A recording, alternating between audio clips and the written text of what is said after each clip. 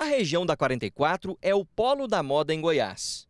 As lojas por aqui estão fechadas, em cumprimento ao decreto estadual com medidas para impedir o avanço do novo coronavírus. O funcionamento do comércio parou, só que os informais não. Barraquinhas e mercadorias para todo lado. Os lojistas, que estão de portas fechadas há mais de 60 dias, pedem fiscalização. A lei é muito clara. É, o, o logradouro público, as calçadas não podem estar é, ocupadas por ambulantes nem camelôs, ainda mais numa situação de pandemia. Representantes dos empresários têm se reunido com a prefeitura para pedir a reabertura das lojas. A proposta é reabrir as portas agora, no dia 1 de junho. E estamos aguardando semana que vem uma nova rodada de negociações para verdadeiramente definir a reabertura, a retomada das atividades econômicas da nossa região. A região da 44 tem mais de 14 mil lojas.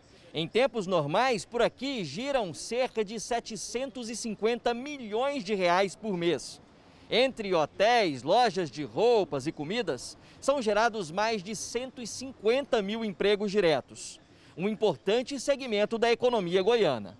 Medidas de segurança foram propostas na tentativa de viabilizar o retorno às atividades. O uso do álcool gel em todos os corredores, em todas as portas de cada empreendimento, é, o uso de máscara, até porque é lei, é obrigatório, é, tapetes sanitários nas portas de cada empreendimento, poder lavar todas as ruas da região, é uma lavagem sanitária pesada, é, também poder sanitizar né, com material sanitário todos os empreendimentos e todas as ruas. Isso vai dar maior segurança é, sanitária para a região. E duas em especial, que neste início só se atenda ao público regional. Nada de compradores de outros estados circulando pela 44.